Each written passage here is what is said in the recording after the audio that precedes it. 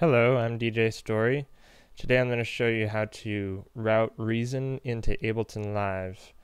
So the first step is to have Live open. So you get Live open first, and then you open Reason. And that's really important. Once that happens, you can start Live and it'll start Reason. You could stop Reason, it'll stop Live. They're totally synced. So that's the first step. Next, you'll want to add an audio track. Well, there's two different ways to route audio from uh, Reason into Live. And this is the first first way. It's pretty easy. You um, let's see if you don't have the in and out menus there, you're going to want to enable this. Now you're going to come over here and select Reason from the drop down you're going to set audio to in. And now anything that comes out 1 and 2 in Reason is going to come through this channel. So I'll show you what I mean. I just created a mixer and now I'm going to create a Dr. Rex pattern. We're going to choose a drum and bass loop. And now if I preview this, see it's coming through. Alright, so I'm going to go ahead and send it to the track.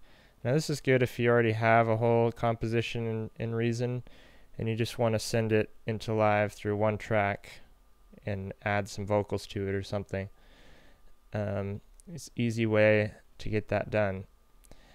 Now there's another way you can do it, which is um, if you want to sequence in live but use sounds from Reason, you can drag this external instrument onto a MIDI track or just double click and it'll go there. Um, and then you go down here and you're gonna, um, well actually first let's add a sound. So we're gonna add a, a Thor synthesizer and we're gonna select a sound here. I'm just gonna find um, this will do. And then instead of routing it into the mixer, because then it'll just go out 1 and 2, we're going to bring this right up to 3 and 4. So in Reason you just press tab to switch between these two views. And um, we're going to go back to Ableton and down here on the external instrument we're going to select Reason from the MIDI 2 and then we're going to select the Thor, you'd select whichever instrument you want to control, obviously. And then audio from, we're going to select 3 and 4. And now I have my keyboard enabled up here, so I can actually control this with my laptop keyboard.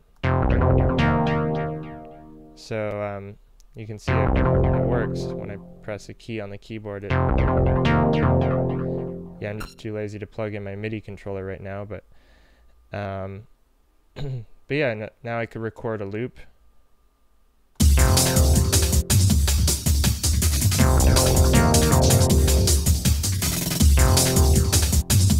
There we go.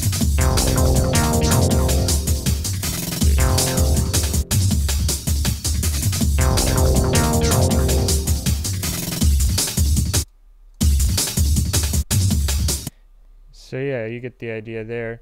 You can uh, then come in and edit the sounds here, do all kinds of stuff. Now, one other thing I want to show is um, with this audio coming through, you can actually record enable the track and just record it right in.